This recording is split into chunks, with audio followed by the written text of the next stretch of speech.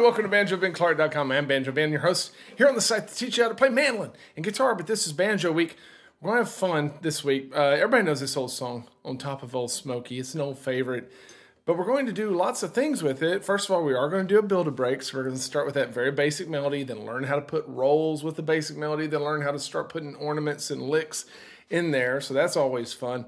But also, we're going to look at what it means to play banjo in waltz timing or in 3 4 timing. So, there's three beats in this measure instead of four, and that can start to mess you up a little bit.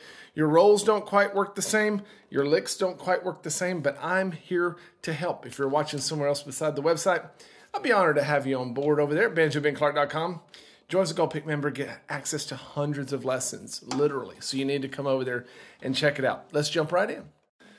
Let's first talk just a bit about what it means to play banjo in three quarter time, and then we'll look at the basic melody of this song, and then start to add rolls, and then add licks, and have all kinds of fun. So, normally when we're playing bluegrass with the banjo, we're usually playing in four four times. Just most of our songs, most of our tunes, most of our fiddle tunes are in four four time. What does that mean? Well, very basically, it means that there are four beats in each measure.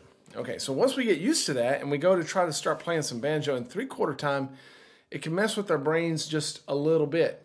But actually, I think that three quarter time is really, really suited for banjo rolls.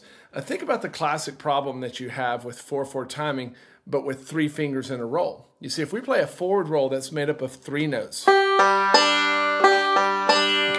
and if we continue to play that, they happen, of course, in multiples of three. Well, what do you do with that over four beats, which is divided into eighth notes? So there's eight different spots for us to fill in a measure. We're playing notes that are made up of three notes. What's eight divided by three?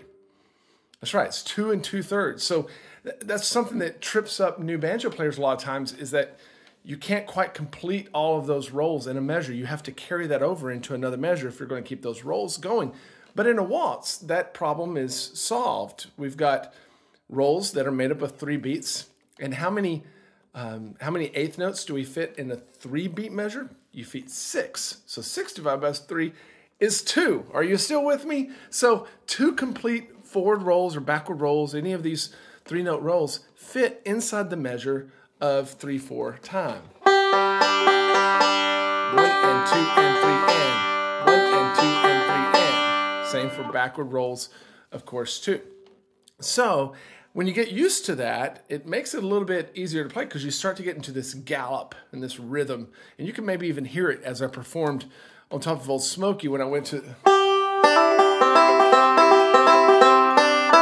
It just felt good to have that forward roll in there, hearing that backbeat of the three quarter measures.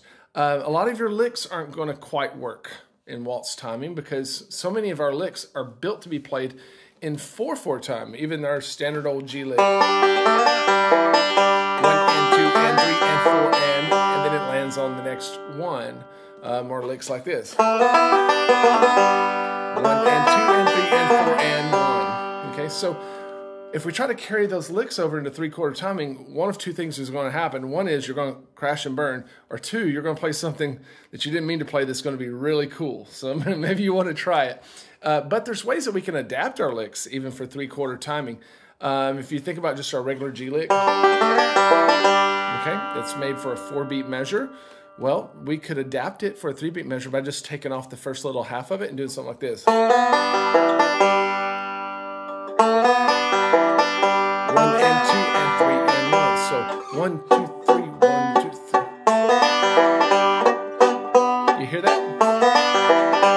The same thing for like our forward reverse slide roll, our lick that we like to play.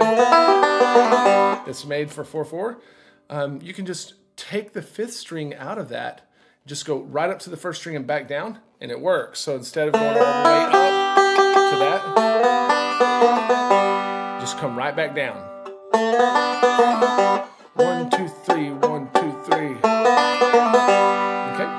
So we could take a lot of the licks that we're comfortable with in 4-4 time, adapt them just a little bit, and they work great in 3-4 time, but it still takes some practice, and that's what this lesson is all about. Let's look at the basic melody for On Top of Old Smokey because I want us to always keep that in mind as we go building these breaks. If you've never done a build a break lesson with me before, it's where we take the very basic melody of the song, we learn how to build a solo out of it. Let me just say a little disclaimer here, right quick, because we talk about this over on the forum. The point of build a break lessons isn't ultimately for you to learn what I've written here in this lesson. Okay, you can you can take it and use it. You can steal all the licks, all that good stuff. Tell people you made it up, whatever. Really, the point is for you to ride along with me in the process of taking a basic melody to a more advanced break, and in that process, seeing how I think about it. How do I think about adding rolls to a to a, a melody? How do I think about working in the licks so that you're learning the actual process, so that you can go out take melodies of your own and do this same thing. That's the whole point. So if you're not coming at it from that perspective, you need to reset your perspective, have a little paradigm shift. All right, so let's look at the basic melody. Uh, again, we're in 3 4 time. The first note of this one starts on the third beat of the measure. We're, of course, doing it in the key of G. Uh, so it uses all of the notes in a G major arpeggio. Now, when it comes in right there on Smo, and that's a C. Okay, so that's kind of interesting. It it leads in with a C chord. And then I want you to notice that second fret that I play there. It has that big long slur line that stretches into the next measure. You know what that is? Well, it's called a, a tie. It's a tied note. So that's going to last over into the next measure, still ringing out. Um, it's going to last two beats into the next measure. So one, two, three, one, two. And then on the third beat of that measure six, we come back in with another second fret and then walk it. Okay, so that whole first line. One, two, three, one, two, Next line, we've got a big long melody note right there on the open first string. One, two, three, one, two, three, one, two, three, one, two, three, one, two, three, one, two, three. Okay, what this uh, what this tells me, whenever we have these melody notes that are hanging out for long periods of time, it tells me that we're going to have a lot of opportunity to play some cool licks or to mess with rolls and, and stuff like that. And we're going to get there uh, because the melody is not that busy, so it leaves a lot of interpretation for us. The last line. Um, and that's it. That's it, right? Now you see at the end of that line, uh, we're going to come in again. These verses are very short. And then we're going to begin adding rolls. And uh, that's what I want to do next because I want to look at how this forward roll fits into three quarter time. Um, and then, of course, how to add licks on top of that. If you're watching here on the website, don't forget to click on that next video segment to see how to do that. Download the Rhythm Track Jam Track MP3s to practice along with me, as well as the tab. If you're watching somewhere else, why aren't you on the website? Come on over. Have fun with this at banjobenclark.com.